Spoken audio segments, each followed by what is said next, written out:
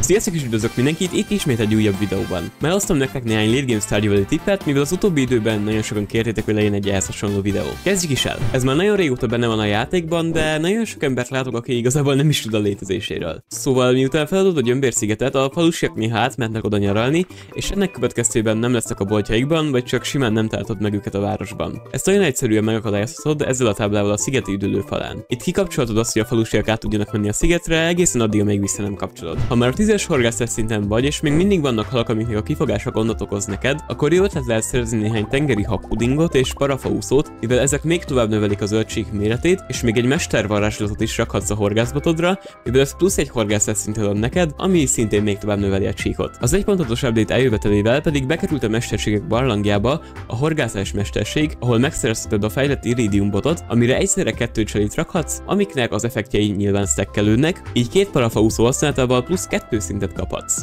Ha mindent alkalmazol, ami itt elhangzott, összesen a 14-es horgászás szintig érhetsz fel, itt a horgászás minigame több mint felét már kitölti a zöldség, így sokkal könnyebbé téve a halak kifogását. Itt egy tipp azoknak, akik nagyon szeretnek mind megszállni.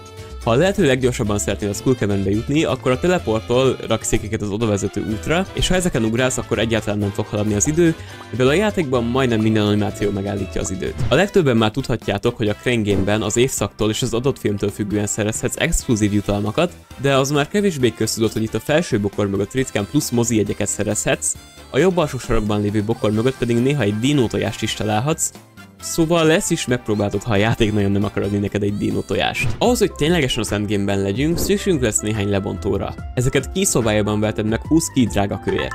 Ezért nyilván meg kell dolgoznod, de annyira nem is egy vészes ár, mivel később nagyon sok goldot is idős spórolhatsz vele. A játék végén nagyon unalmas lehet ugyanúgy egyesével kivágni minden fát, vagy kitisztítani minden szintet a bányában azért, hogy néhány alapanyagot szerez, Robinnál meg Clintnél pedig nagyon-nagyon drága lehet megvenni őket. Itt jönnek szóba a lebontók. A lebontók kraftolt tárgyakat alakítanak át a legértékesebb alapanyagukká. Éppen ezért, ha például sok rosra van szükséged, akkor elmehetsz Spearhez és vehetsz néhány fűmagvat 100 goldért, és ezt beleteszed a lebontóba, akkor minden mag 10 rosra fog átalakulni, ami rengeteg kraftolási recepthez kell, magánban pedig nem igazán lehet megvenni, szóval ez mindenképp megéri, ha nem szeretnél napokat tölteni rost farmolással. Ha vasra van szükséged, akkor pedig csak vegyél pár csapdaúszót Viditől. Ha ezt belerakod a lebontóba, egy részudat kapsz, ami egyébként először nem tűnhet soknak, de még mindig jóval olcsóbb, mint ha Clintől vennéd meg a rézérszeket. Ha ugyanezt megcsinálod műcsalikkal, akkor 500 gold áráért kettő vasudat szerezhetsz, ami szintén olcsóbb, mint ha Clintől vennéd meg, és rengeteg időt spórolhatsz meg vele. Ugyanezt megteheted a kincsodás csalikkal aranyrudakért, lépcsősorokkal kőért,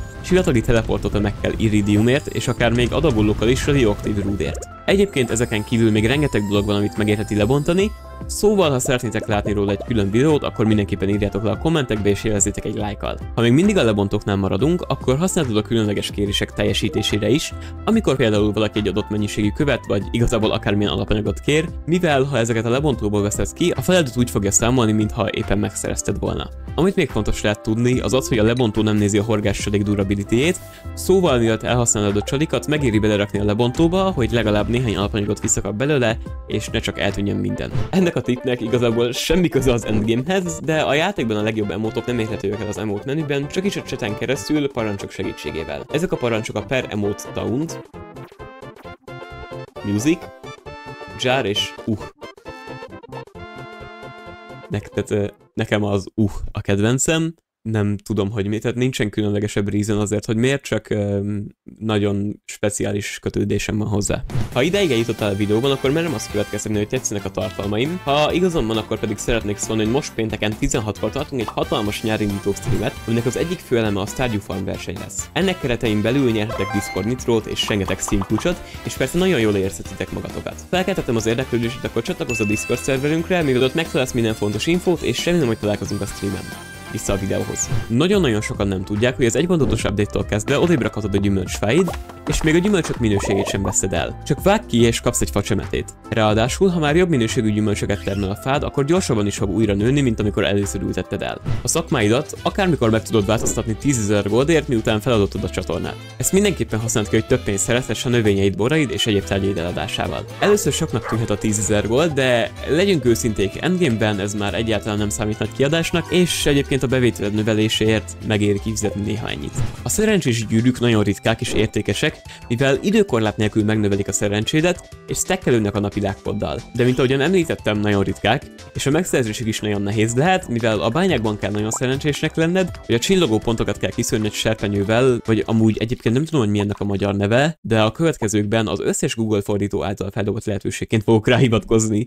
Na tehát mi a második módszert fogjuk alkalmazni. Várja még a lehető legszerencsésebb napod van, és egyél néhány szerencsebusztoló ételt vagy italt. Menj a Gyömbér szigetre, pontosabban a Dig-site-ra. Ez a legjobb hely a játékban a citálásra, mivel 10 játékbeli percenként kerekítve 30% esélyed van arra, hogy egy csillogó pont spawnol. Ez a legjobb hely erre az egész játékban. Buffokkal és max szerencsével együtt pedig minden alkalommal, amikor használod a serpenyőt, 4,9% esélyed van szerezni egy szerencsés gyűrűt, de ha az nem is történik meg, akkor is rengeteg értékes tárgyat találhatsz, és megpróbáltad a következő szerencsés napon. És igazából ennyi is lett volna. Ha tetszett a videó, nyomjatok egy lájkot és iratkozzatok fel, mert tényleg nagyon-nagyon sokat jelent. És nézzétek meg ezt a videót is, mert a YouTube szerint ez a legjobb ajánlás számodra. Köszönjük, hogy itt voltatok, találkozunk egy következő videóban és streamben hamarosan.